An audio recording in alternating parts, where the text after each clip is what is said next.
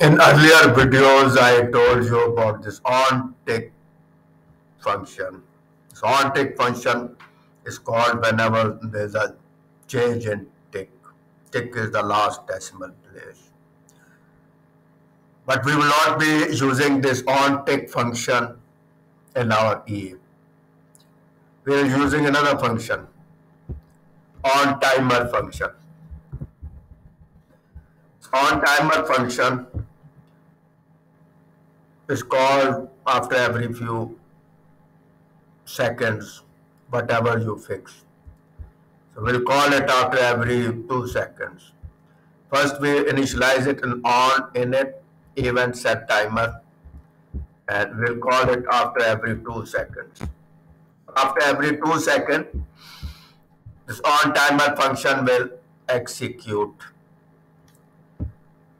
So we in the on deinit will want to deinitialize it with event kill timer.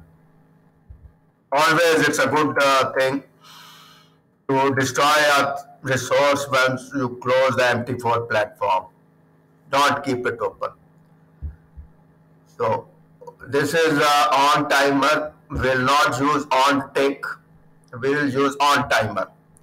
On timer function in this case, after every two seconds, we'll print the bid price and we'll print the ask price.